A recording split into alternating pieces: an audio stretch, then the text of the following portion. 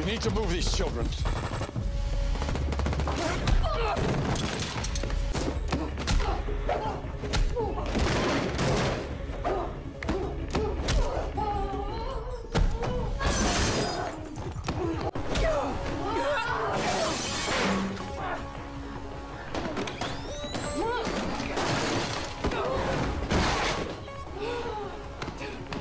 Oh!